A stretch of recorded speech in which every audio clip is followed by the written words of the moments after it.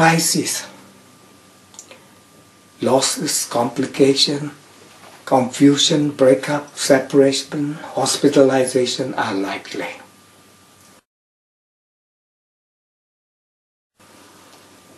Not a good period for personal life activities, so don't use your mood, temperaments, and ego.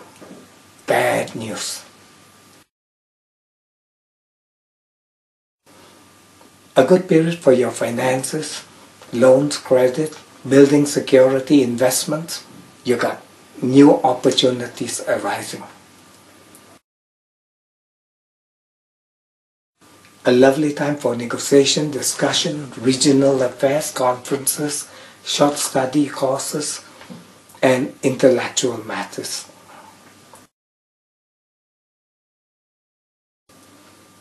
A lovely time for your home, family, domestic matters, in-house affairs, property dealings are all up and rising.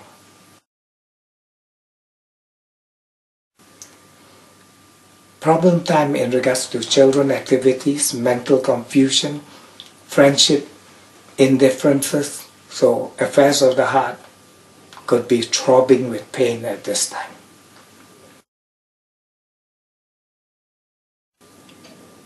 Your health will not be good, so you feel lethargic, stressful, and people around you very negative. So learn to be self-dependent and not too much expecting of others.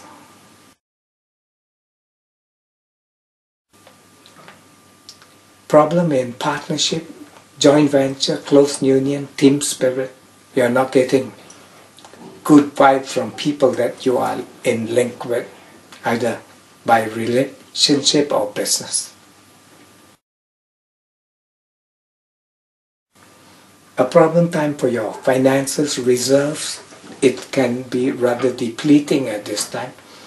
People who make you promises are not keeping up with it, or bankers are tough to deal with.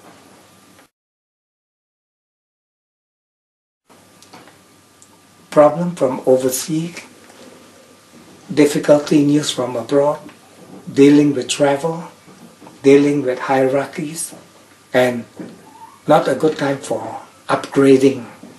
There tend to be too many complexity to stop you from progress.